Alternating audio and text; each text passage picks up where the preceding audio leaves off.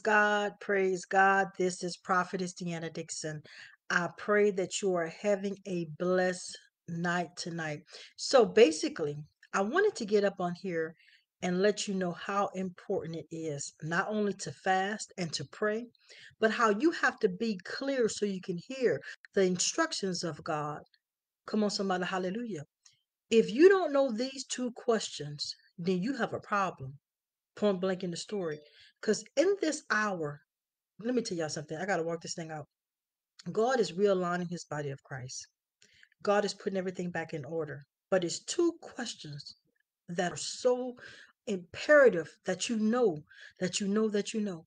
Number one, do you know what your assignment is? If you don't know what your assignment is, now is the time to fast, pray, ask God for clarification, confirmation, and revelation, point blank in the story, because you need to know what is your assignment. That's something you need to. What are you doing here? Why are you on earth? Not just to get a job, not just to make money, not just to have a business. No, no, no. You have an assignment. What is your assignment? What is God telling you to do? Come on, somebody. That's the first question. The second question is, what is the assignment against you? See, I, I I know them demons don't like me. Come on, somebody. Hallelujah. I, I know when people are, y'all know. I ain't going to go here all the way tonight. But I know who's against me and what is against me. And it's not in my mind because let me tell you something. God will wake me up at three o'clock in the morning. Watch this one. Watch that one. They not real. They not right. Come on, somebody. Hallelujah. And then point blank, he'll let you know who's on your side. This one mean you good. Come on, somebody. So you got to have much clarification and prophetic revelation. And hold on, you got to be a prophet. Uh-uh. It is time to have a relationship with God so deep that you know who, when, what, and even why, if he want to tell you. Hallelujah. So let's revisit those two questions again. What is your assignment? Your assignment is not just to get married. Your assignment is not just to have a house, a car, and, and to be balling. You have an assignment. And most of the time it's to a people and a place. God will put you in a certain place for you to minister. Because in this last hour, he say the laborers is few, but the harvest is ripe. God need people in this hour like never before. God is actually shifting people from the Pharaoh system to the spiritual system, the kingdom of God. I'm telling you what thus said the Lord. There's a transfer. Y'all know I don't talk about money like that, but I'm about to start because I'm telling you what God said. God said revival coming. And so there's a transfer of wealth. And in order for it to be a transfer of wealth, you have to be in your position. You see, opposition tries to move you out of position. Transition tries to move you out of position. But God said, I need you to stay in position. I need you to get in position. I need you to know your position. I need you to know your assignment. So those two things that are imperative, and, you got to ask God. And, and, and how you found out the revelation is by fasting and praying. So you can get clarification and confirmation. So the two questions again is, what is your assignment on earth? Because you have an assignment. And it's most of the time it's to a people and a place. What is the assignment against you? Because I guarantee you, demonic entities, when you real, they are always signed against you to try to distract you, to try to destroy you. Come on, somebody. There it goes. The Bible says that you're, you have an enemy, the devil, as a seeking lion, roaring lion, seeking whom he may devour. This stuff is real. He's not playing. And I'm not saying that to be in fear, but that's to walk in faith and boldness. But you have to see yourself as God see you. Because the enemy, let me tell you something, and, and this is so real. You need to stay away from people that break your spirit, that try to put you down and everything else. Because God is trying to build you up in faith. Because faith and confidence go hand in hand. So you can do the work of the Lord. So you can do your assignment. So you can prosper in it. So you can be um positive in it as well. God wants you to have a positive mindset. God wants you to know that I'm with you. I'll never forsake you. I'll never leave you. Come on, somebody. Hallelujah.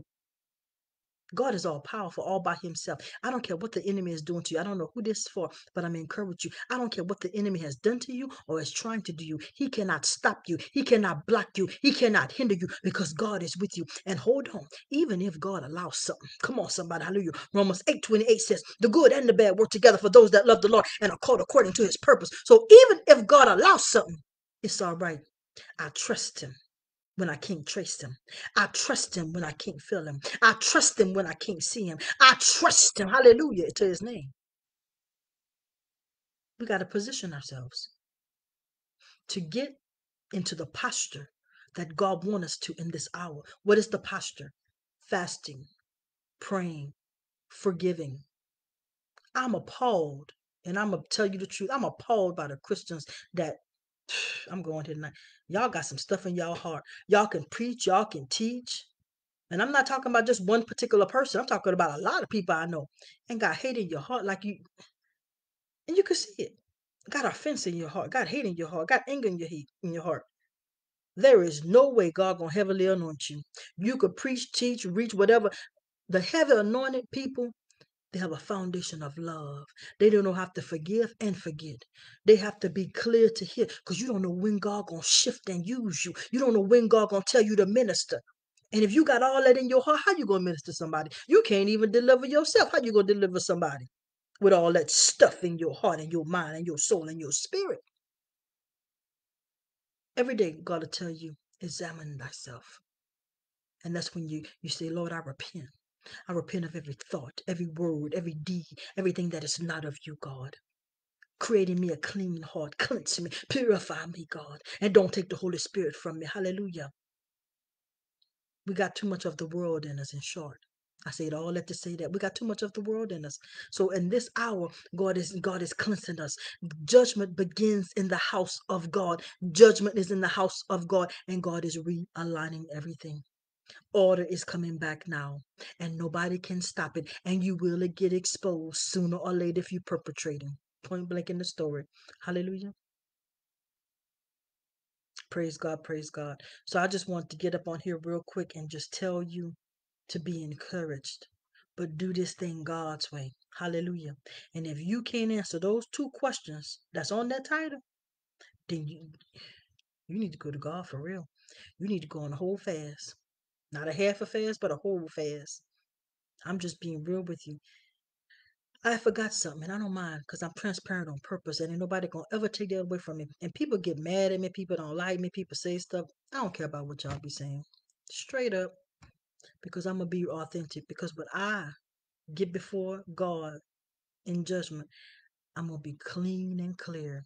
I said it the way He told me to say it. I did it the way He told me to do it, and He told me to be honest. Hallelujah. We don't always get it right, leaders. But when we do get it right, we're supposed to tell y'all so y'all can get it right. I realized that a life of fasting is what every leader should be living. If you're not fasting on a, a, a constant basis, then you're missing it. Because, and I'm going to prove it. God says, those that worship me must worship me in spirit and in truth. So we full of the world and acting silly. We can't really even, we can't even understand what God is saying. So he says, Those that worship me must worship me in spirit and in truth. When you're walking in the spirit, especially when you're fasting, then you can hear the truth. That's why so many people are deceived in this hour. So many people walking in a different spirit. Honestly, mostly in carnality and flesh. And then some people say, Well, it can't be done. Yes, it can. Every morning you get up. And I told y'all this and I reiterated on purpose over and over. God, thank you for waking me up.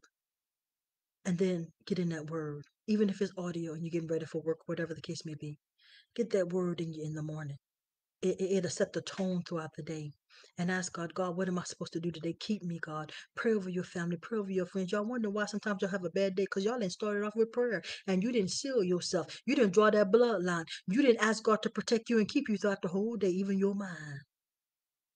At the end of the day, some of y'all go to bed looking at TV and stuff, and you wonder why you you off the next morning or whatever the case may be. And what I mean by that is by your spirit being off. That's because you didn't seal yourself at night. Go to bed at night with that word. That word cleanses you. That word sanctifies you. That word purifies you. That word aligns you. That stuff real. And it's time for us to get aligned. The world is out of order because the church is out of order. Hallelujah. So I'm gonna get up off of here and say whatever, whatever, all, all what God has told me to say. I love you all through Jesus Christ of Nazareth. I'm telling you right now. I'm gonna end it with this.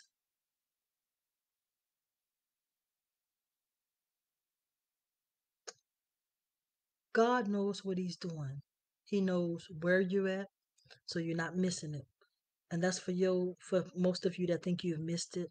And for some reason, everybody is like on this time thing.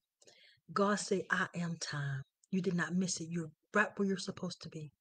Quit letting the devil mess with your mind, making you think you're not going to get it. You're not going to achieve it. Everybody's opinion does not matter. And the only time it matters, let me tell you when it matters. Who can hurt you? A person that you admire, a person that you really think is, you know, is a wonderful, let's say, mentor or somebody that's actually just anointed and appointed. But even they can let you down. You have to love you. You have to see how God sees you. What God sees. Ask God, God, show me what you see.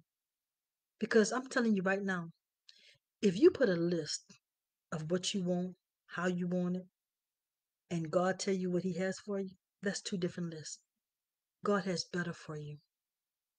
You got to see it. You got to want it. But I'm going to tell you what's the underlying thing of all. you have to walk in obedience. Most people don't want to walk in obedience. You have to. You can't. There is no way. Thank you, Lord. Cain and Abel. So, as you know, Cain killed Abel. All because Abel gave God exactly what he wanted and what he desired and what he asked for. Cain just kind of, here, God. God's like, I don't reject that. That's the same thing happening today. Most people want to be a Cain spirit. You can't just give God anything and think God gonna bless you and everything gonna be cool. The devil is a lie. That's not gonna happen like that. You gotta walk in obedience, and then you get the fruits of obedience. Hallelujah. Woo!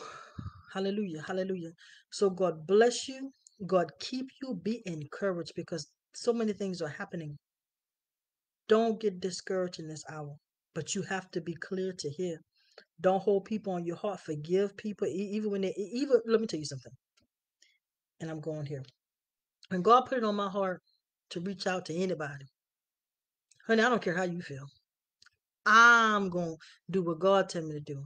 If God tell me to do this or that or that, you can't sway me. You can't make me feel no kind of way. What am I saying?